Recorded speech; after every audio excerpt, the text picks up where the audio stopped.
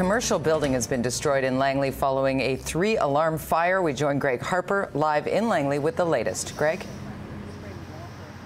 Good morning, Jody. Uh, we're just off the Langley bypass. Uh, behind me here is a, a, commercial building that caught fire last night. What's happening right now, uh, Langley firefighters still on the scene and they're putting out hot spots. They've been spraying water from up above.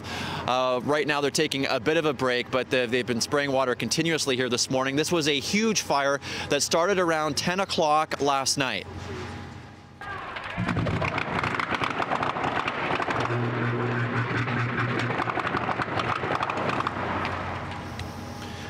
A huge challenge for firefighters on the scene. There were a number of tanks inside the building uh, full of uh, acetylene. This is used to uh, fuel torches. They began to explode, which only fueled the blaze. Now, the roof on the building eventually collapsed, and there were firefighters attacking the flames from up above and also at the ground level.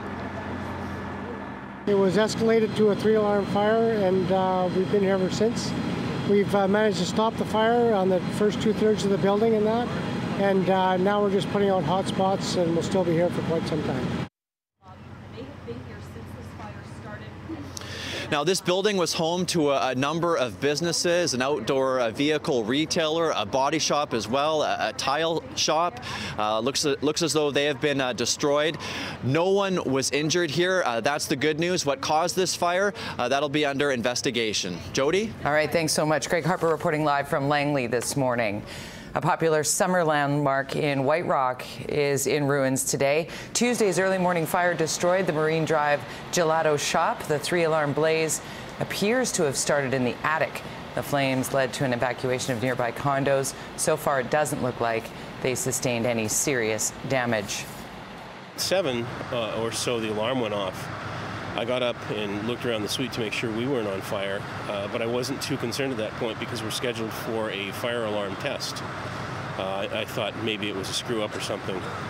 Then uh, I looked out the uh, patio door from my suite, which is immediately adjacent to the building that was on fire, and saw flames.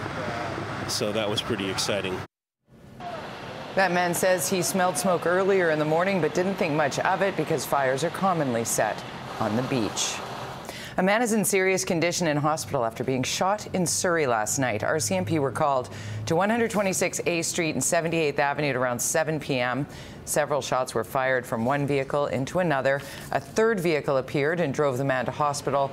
Officers say the victim is known to police and they believe the shooting was targeted. No suspects have been arrested. Vancouver police are looking to find this man, a high risk sex offender. Darren Wheatley is wanted Canada wide for breaking his release conditions. Wheatley was given a 10 year sentence for three attacks on women in Ontario. He is described as Aboriginal, 45 years old, six feet, with a large build and tattoos on his arm. Meanwhile, a German tourist has been arrested for a sexual assault on the Canada line. The 44 year old man is accused of groping a woman after she boarded at Yaletown on Monday. The woman yelled at the man, then forced him off the train at the Vancouver City Centre station where she reported the incident. The suspect was arrested within minutes. He has a history of sex offenses in Germany. He's here on a tourist visa. He has been charged with one count of sexual assault. He made his appearance in court, and the judge decided that he is releasable on a $5,000 cash bond but that bond has not yet been posted.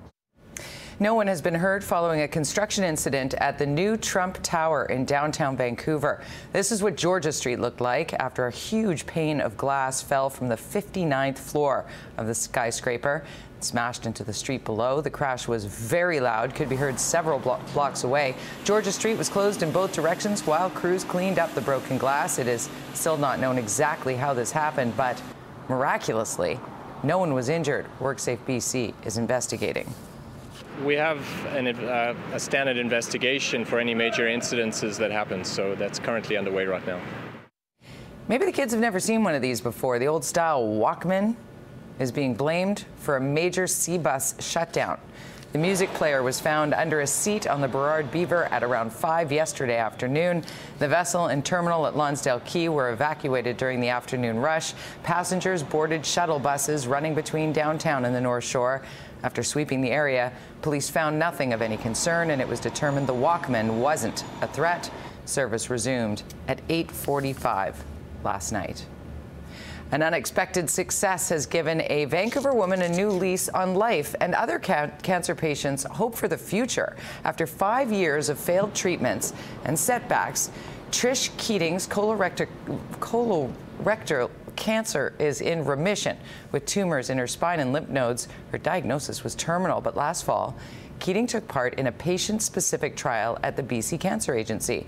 Trish was given a blood pressure pill not intended for cancer treatment but it worked, making her cancer barely detectable in just weeks. The fact that it's not chemotherapy is incredulous. The fact that um, I feel so great is incredulous because for so many months and the past year, I haven't felt great at all. The BC Cancer Agency Genome Sequencing Program compares a patient's tumors with healthy genes process helps doctors form a treatment plan based on that person's individual needs.